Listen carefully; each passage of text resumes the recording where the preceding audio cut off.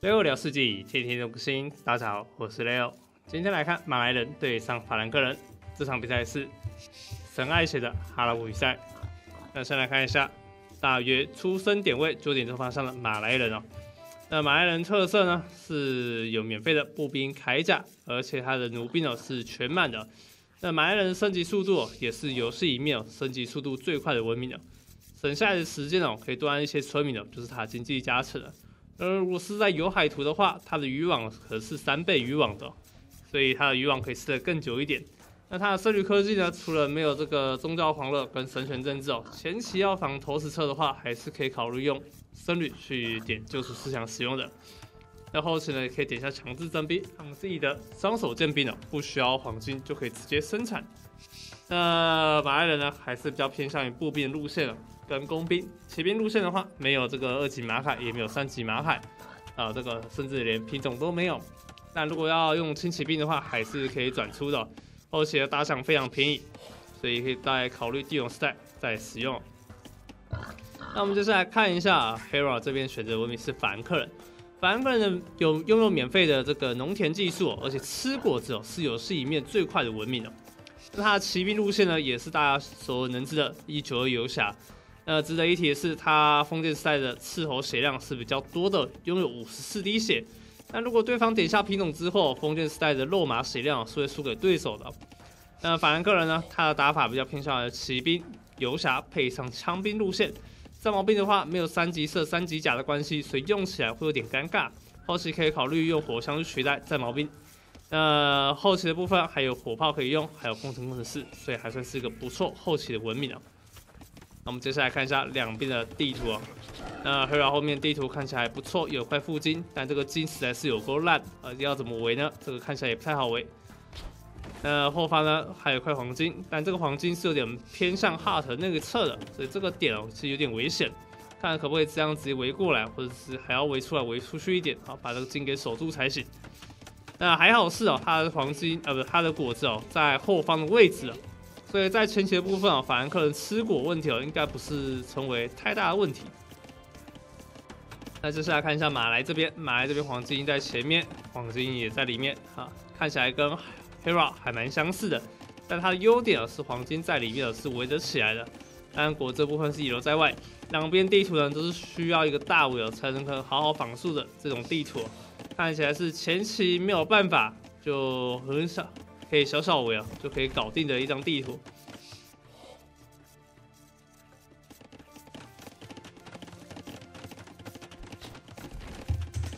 好，接下来我们来看一下两边封建时代怎么打。那这边看到，Era 这边是点下了封建时代，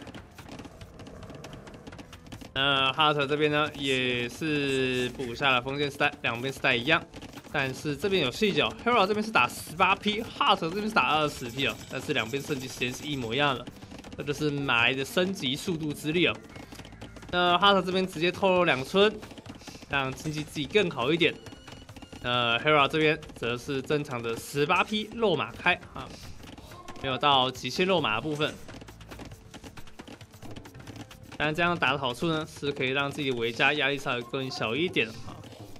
好，那农田可以早点下下啊，待会出来村民可以直接一直撒。好，落马过来，但是哈特家里已经有枪兵守着了。下方两只落马也出发，现在两边的落马可以看一下血量啊。现在法兰克血量的落马来到四滴血，马来人这边血量是四十五滴啊啊，差了九滴血啊。所以法兰克落马落互打一定是有优势的。好，结果 Hera 这边直接撞到了枪兵，直接硬吃掉了一只枪兵，被换掉了一只肉马，这样有点亏哦。那前期的部分啊，法兰克人还是要考虑要不要转这个毛兵哦，或是要多补一点枪兵哦，不然对方肉马一多哦，这里防守就会很糟糕啊。好，这边看起来，哎呦，这边要直接硬吃枪兵，最后是一换一换掉了一只肉马。好，但这边有细节，把村民拉回去伐木，那两只村民在这里。的哈特就不太不太敢打哈。好，后方这个地方为什么 Hera 不按枪兵？原因是因为他觉得枪兵按太多，可能会生死带生慢啊。哎，这边村民看一下，可能会有危险。这三只肉马好像也没时间控了。那其实 Hera 这边只要按一只枪兵过来防守，就很好打。好，先把这个枪兵解决掉，再来去解决肉马，这是一个不错的策略。好，这边稍微围一下资源点，肉马回来了，看一下这边会不会开打。哦，感觉会打起来哦。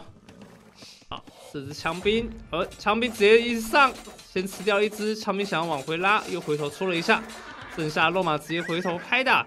看起来 Hera 这一波是打出了优势，肉马最后吃光，两边都没有被击杀村民，但是马来人的村民优势还是三村啊！这里马来升级实在是太好了，哇，资源量已经领先了快要四百资源。好，那 Hera 这边命是法兰克人，资源量却还输这么多，现在对方已经转出工兵了，自己要赶快补射箭场。哎，结果这边本来想要补箭塔，最后是决定补射箭场啊。那这边变一九九，之后待会要再挖个一颗，才可以到城堡时代补三 TC 开农啊。好，这里枪兵继续戳，弓兵两只应该是没有办法打破，赶快修理就好了。好，这边赶快拼一下，看能不能囤到帝王时代，好城堡时代。好，NBL 不是 NBL，Hera 这边是补下了战矛兵，战矛兵过来，先打枪兵，看下这一波好像会开打。哦，这边可能真的要上吗？但是哈特这边落马其实很少，落马很少情况下要打掉这些枪毛兵是不太容易的。好，毛兵赶快先去把他们解决。三只枪兵已经倒下，第四只枪兵也马上就倒下。好，落马解决。现在马来人没有办法挡住这些毛兵。好，以上城堡时代马来人补下的东西是毛相夫。然后看到毛相夫直接撤退。那 Hero 这边要挡住工兵配大象的打法，最简单的方法就是配僧侣配战矛。啊，这个也是平常一般的文明哦，转这个工兵配骑士的打法哈，战矛打工兵，僧侣招骑士，或者是毛相夫哦，都是一个很好的打法哈。那如果你不太会控僧侣的话，也可以考虑哦，去转这个重装长枪兵哦。但是你这样子开龙的时间点就会更慢一些哦，所以我是不太建议使用重装长枪兵前期时候就开始防守。而用僧侣的话，可以省下非常多的资源了，甚至可以给到对方压力，让大象没有办法一直攻击建筑物。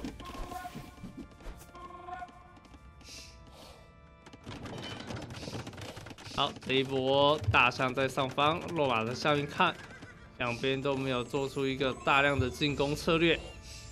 马来人这边是点下了二级伐木，好，这边终于想起来有二级伐木需要点。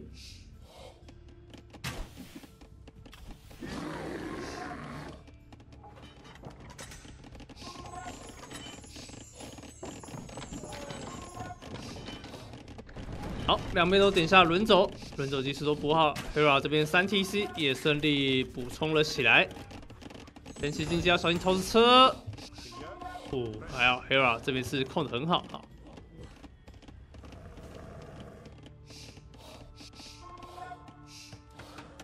好，马来人继续用头车往前压制，打一发没砸到，一发有机会，哇，真的拍到了。这一波 Hera 秀到头破血流，完了，现在要解投石车好像不太好解。对吧这里应该也没有大开战要出骑士的意思啊，现在暂时骑士出不了。工兵跟投石车这个组合非常难缠。这三点救赎思想也不太好招降工程器，因为工程器很容易被后方的弩兵直接秒杀僧侣啊。不然就是被投石车砸一发，僧侣就倒了。所以如果真的要打救赎思想的话，至少要补双修道院哦。一个点救赎思想，一个点，哎呦这边僧侣直接被战矛投烂。好，这边骑士出来再补个伤害，骑士直接被集火两次就倒地。但最后三台头车都搞好了，对吧？这波打得很漂亮，骑士一出来直接开扁。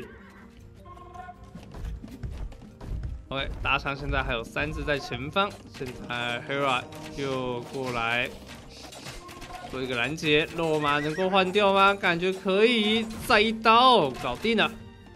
现在马来人三 T C 也补上，好，家里战矛兵要小心。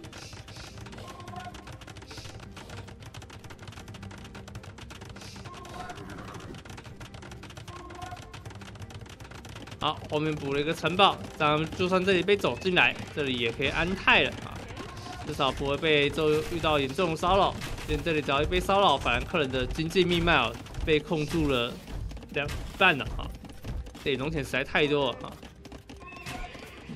好，这毛兵上前点掉了一村，反客点下了一支工兵啊哈。反客这里没有开始转骑兵，而是继续走工兵路线。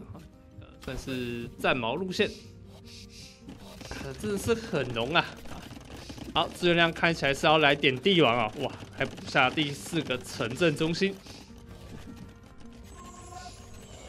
马来人在一个奇怪时间点点下了采金装置哦。这个采金装置通常是点帝王之后再来补都不会太迟的东西哦。哇，马来人这边真的是这时候还要买卖一下，OK。好，这两边都点下成帝王时代，但是 Hera 这边是先点的，却实在是落后对手。白人第二时代升势的速度是非常快的。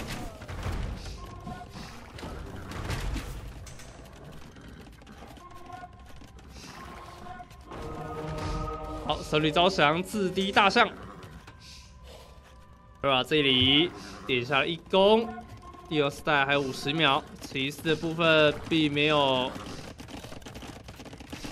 出的太多，现在是三马厩在出哦，还不是四到五个马厩，这就是骑士精神吗？好，黑尔这边要赶快点一下防御跟骑兵的升级，重装骑士。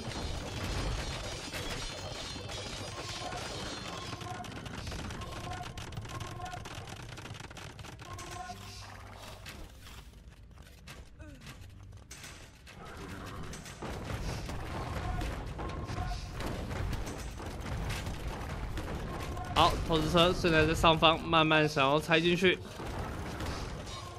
骑士一直在绕，哇，这上方又开了一个城镇中心，对吧？都在到处偷摸摸、偷盖城镇中心、偷农啊！现在 Hera 这边是五 TC 开农，Hart 是一百零二寸对上一百二十三寸的 Hera。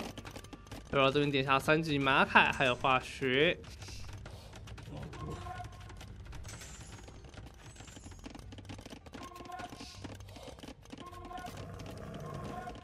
好，现在骑士的部分，重装骑士已经升级好，要上前直接硬吃啦。后方有投石车，好，结果投石车直接往前，直接被骑士给收掉。但是投石车死硬死，还是砸到了一发战矛，这里直接硬扛着弓箭的伤害，拿掉了非常多的黄金单位哦，这一波非常的赚啊。那 Hera 这边是补下了化学跟二级弓，三级弓感觉没那么必要哈。好，这里赶快存一下资源，还是要先囤游侠呢？这边都是 Hero 的抉择点，帝王时代还是缺了一大堆的反制能力。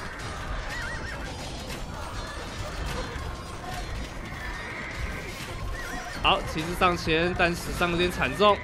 战矛兵在后面开始在打枪兵，枪兵能够守住最后一台巨型抽丝机吗？没有办法，法兰克只有用重装骑士。拿下了这一台巨型头 C，好，法兰克人这里还是先补下了三攻。那游侠什么时候点呢？法兰克要是没有游侠的话，骑兵血量只有领先四点的血量而已啊。那目前现在血量差距有点过大。好，这边这里硬招招到两头大象，大象直接扛住了伤害，但他还是被枪兵给戳烂。后方的三台巨型头 C 开始攻城。Hero 这一波能够打赢吗？战矛兵可能也要继续按。完蛋了，三台巨头要被换掉了一台。好，最后剩两台，老干走掉。好，现在法兰克人拥有一千多块的黄金。那生物的部分有点危险了，现在四个生物在这个修道院里面。然后后面补一个修道院，待会把生物往后搬了。哎，结果这里又补了一些射箭场，看来射箭场还是一个不错的选项。只要出射箭场，枪兵、工兵都能打。马来这边强弩一直没有点，有点尴尬。但法兰克的战矛兵这次也是蛮微妙的，没有三级工兵甲，被强弩射真的是太痛了。呃，没有三级射，打这些兵也是稍微有点难打，手真太短。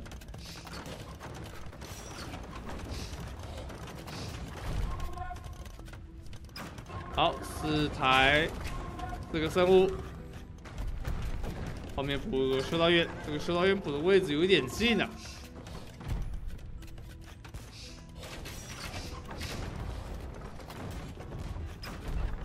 好，这里修道院补完之后，赶快按一个三率吧。对吧？在这个时间点突然点下了游侠升级。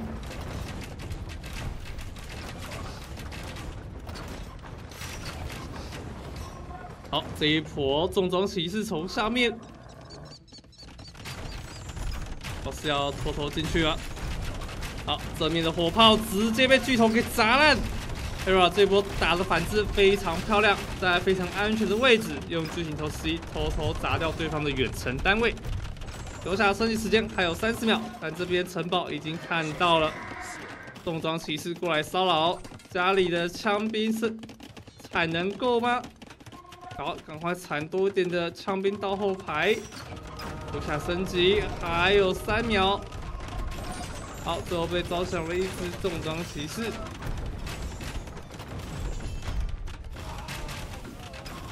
好，转兵往前，但是马来人家里已经 BBQ，马来后方的村民直接被弹烂。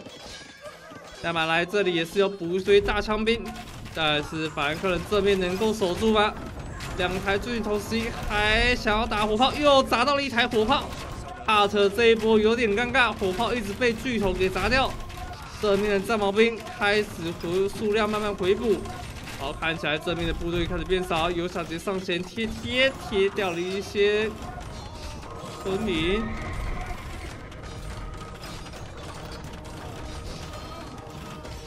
好，这里游侠终于杀出重围。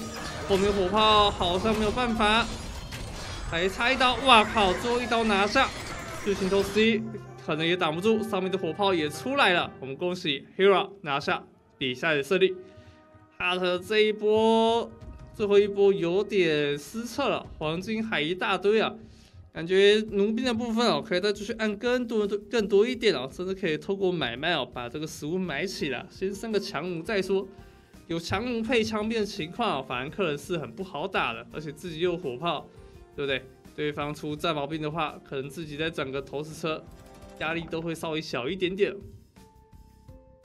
那我们来看一下经济的部分，经济的部分是由 NBL 拿下资源点胜利。